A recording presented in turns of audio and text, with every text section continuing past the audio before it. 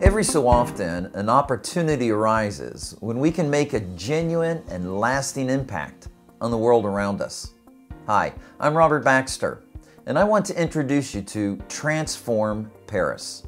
It's a building project in one of the most strategic cities in the world. My wife and I came to Paris, France about 30 years ago to plant a church. And over the years, we've planted more than 20 others, in addition to the one that we are currently pastoring. We've also helped to establish Equip, leadership training program created by John Maxwell. And I currently serve as the National Director for the International Christian Embassy of Jerusalem. Today we have one of the most successful churches in the Paris area, and I'm one of the longest tenured pastors in the city. We're reaching Muslims, refugees, young professionals, and next gen leaders. But our heart is to do much, much more. Our heart is to expand.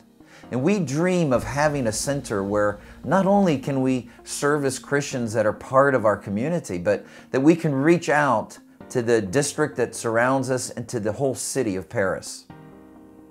We want to enlarge our missions uh, works and our humanitarian works.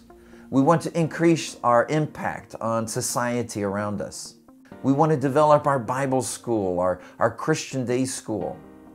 We dream of opening up a youth hostel, a residential area for young professionals and university students.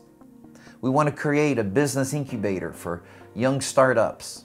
But to do this, we need to build a multi-level, multi-purpose revenue generating facility. It's a project that will run us anywhere between 8 and 10 million US dollars. You know, today Paris is rated as one of the best cities in Europe for real estate investment. But all of that is going to get even better over the next 6 to 10 years. And let me tell you why.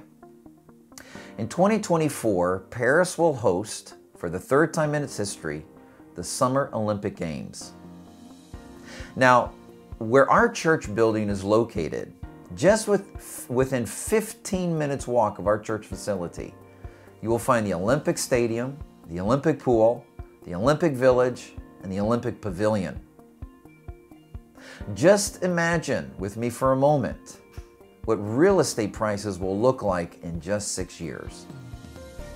In anticipation of the growth in our district, the French government has already allocated over $30 billion to improve the public transportation network.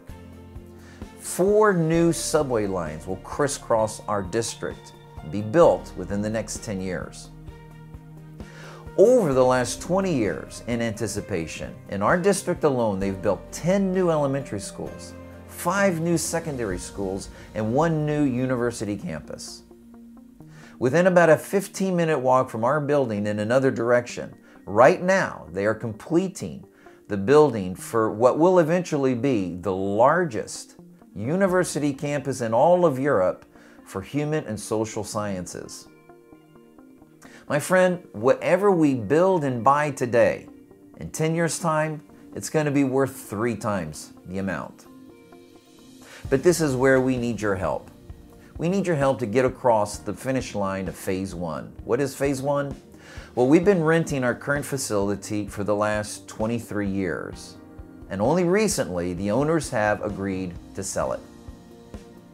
In order to secure the bank loan for the purchase price that's been asked, we need to come up with about a half a million dollars. We've already raised in the last six months about a third of that amount. But this is where we need your help. If just 500 people give about $500, it'll get us across the finish line. So, can I ask you today to prayerfully consider joining our team as an investor? Would you help us transform Paris? Thank you for watching. Thank you for opening up your heart. Thank you for praying for the success of this project.